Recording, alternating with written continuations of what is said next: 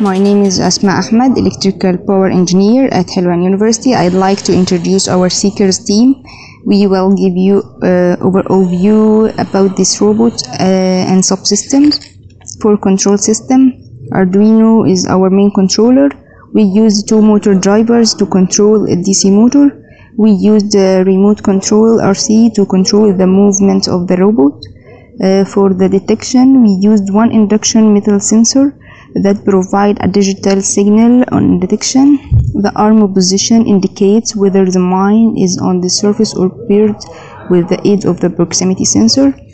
We used the beacon system using um, an NRF24 uh, and Bluetooth uh, HM10 to navigate the area of the playground.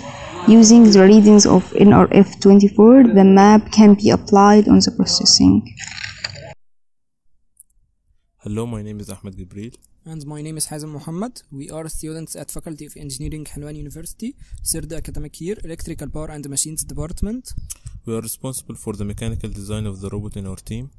We used SolidWorks to design our robot and to calculate the estimated weight, which was about 20 kilograms, and simulate the stress on different parts of our robot. Our robot is mainly composed of aluminium bars and 6 mm thick plywood and is driven by 24 volts, 110 RPM, 25 kg centimeter DC motors, and 8 inch inflatable wheels. Concerning the demining mechanism, the mechanism is placed on the front of the robot as shown in the conceptual design, uh, using a gripper as an end effector uh, to grab the mine and then place it in a box that is placed inside the body of the robot.